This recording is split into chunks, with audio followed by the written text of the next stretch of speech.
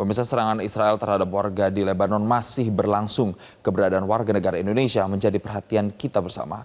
Untuk mengetahui kondisi terkini di lokasi, termasuk kondisi warga negara Indonesia, sudah bergabung bersama kami Duta Besar Luar Biasa dan Berkuasa Penuh Republik Indonesia untuk Lebanon, Hajrianto Y. Tohari, melalui sambungan Zoom. Selamat pagi Pak Hajrianto, waktu Indonesia. Selamat pagi, Jason. Terima kasih telah bergabung. Pak Ajrianto, tadi kami mendapatkan informasi dan kami sampaikan ke masyarakat kurang lebih yang korban jiwanya ini sudah sampai sekitar 500-an orang kurang lebih dan kemudian untuk korban eh, lainnya yang luka-luka sudah 1.800-an lebih. Dari 500 korban jiwa itu apakah ada WNI yang tercatat di situ Pak Ajrianto?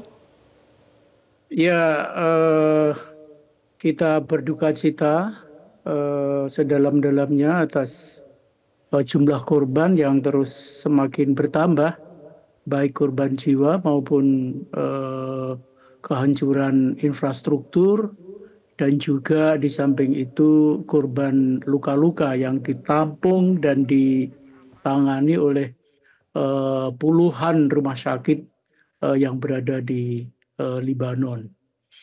Dan dari sekian banyak korban itu tidak ada eh, warga negara Indonesia karena memang sejak awal kita Eh, memberikan eh, bukan hanya himbauan tetapi seruan yang sekaligus juga eh, pemantauan yang sangat ketat kepada warga negara Indonesia untuk waspada, hati-hati dan tidak mendekati titik-titik yang diperkirakan menjadi epicentrum dari serangan Israel. Yang kedua, kebetulan juga warga negara Indonesia yang tinggal di wilayah perbatasan itu uh, tidak begitu banyak.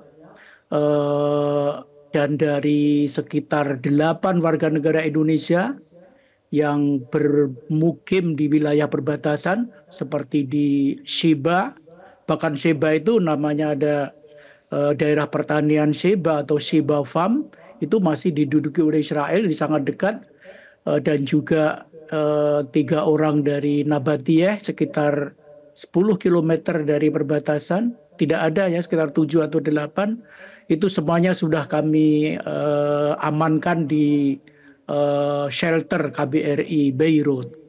Sehingga hmm. dengan demikian uh, alhamdulillah tidak ada warga negara Indonesia yang menjadi uh, korban dari agresi uh, Zionisme Israel di Lebanon yang memang awalnya itu difokuskan serangan-serangan Israel itu di wilayah perbatasan. Hanya sekali-sekali itu masuk ke wilayah pedalaman sampai ke pinggiran selatan kota Beirut uh, untuk uh, istilah uh, dari uh, IDF atau Israel Defense Force untuk mengejar target-target mereka tetapi serangan uh, memang uh, lebih banyak dilakukan di wilayah perbatasan sampai ke sekitar Sungai Litani, sekitar hmm. 41 km dari wilayah perbatasan. Hmm. Baik, serangan-serangan seperti apa saja Pak yang sudah dilancarkan oleh Israel ke ya, seperti Lebanon diketahui serangan-serangan yang dilakukan adalah air strike, uh, serangan udara, ya, baik dengan uh, rudal, roket, dan terutama adalah dengan drone dan pesawat uh, tempur. Seperti diketahui di wilayah uh, Arab Livang ini memang sepertinya uh, yang memiliki pesawat tempur canggih itu hanya hanya Israel. Sehingga dengan demikian dia sangat leluasa untuk melakukan serangan-serangan udara ke wilayah uh, Libanon yang kedua, seperti juga kita ketahui bersama, wilayah daratan dijaga oleh pasukan pemelihara perdamaian yang seperti hmm. tadi disampaikan oleh Menteri Luar Negeri kita, eh, ada 11.000 pasukan eh, pemelihara perdamaian dalam kerangka UNIFIL, di mana kontingen terbesar dari Indonesia.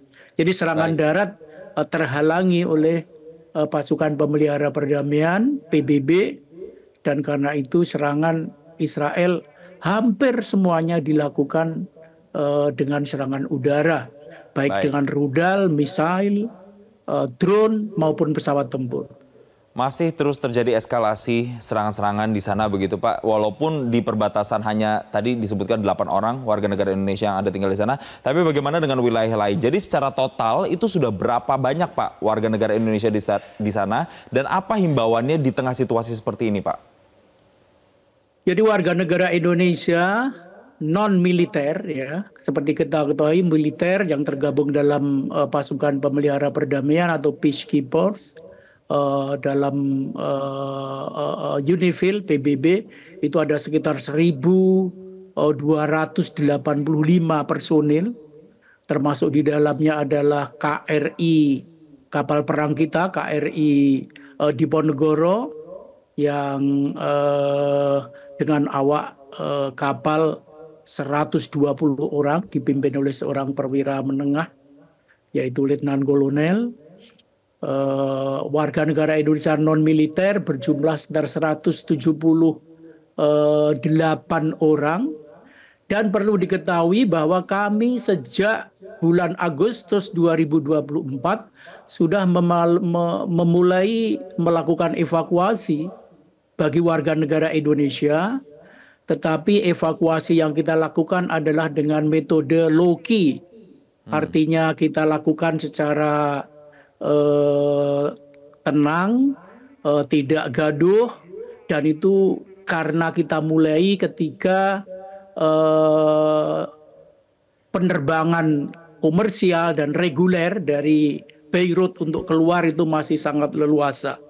Kita hmm. sudah melakukan evakuasi tiga gelombang gelombang pertama, Baik. gelombang kedua, dan gelombang ketiga. Sekarang kita sedang mempersiapkan gelombang empat sekitar 10 warga negara Indonesia yang akan kita terbangkan dengan penerbangan reguler atau komersial ke Indonesia.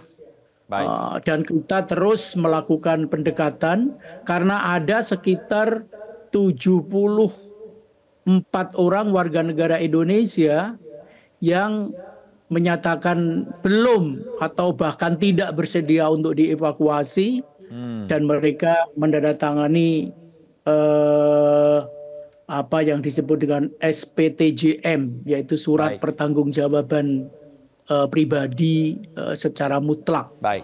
Artinya ya. jika tidak bersedia dievakuasi dan kita sudah lakukan pendekatan persuasif bahkan juga dengan memberikan eh, gambaran uh, tingkat bahaya begitu, dan risiko yang hmm. sangat tinggi. Hmm. Tapi kalau tetap tidak bersedia, maka mereka harus mendatangani uh, surat jawaban mutlak pribadi. Artinya kesimpulannya sampai dengan saat ini untuk warga negara Indonesia sudah dipastikan tidak ada yang menjadi korban dari serangan yang ada di sana. Ya, ya, Upaya ya, kemudian ya. untuk bisa mengevakuasi juga dilakukan di gelombang 4 dalam waktu dekat, walaupun ada sekitar 70 orangan tadi yang ya, kemudian ya, ya. Uh, tetap bersikeras untuk tetap tinggal di Lebanon. Terima kasih Dubes luar biasa okay. dan berkuasa penuh Republik Republik Indonesia untuk Lebanon, Pak Ajrianto Yetohari telah memberikan gambarannya di Selamat Pagi Indonesia.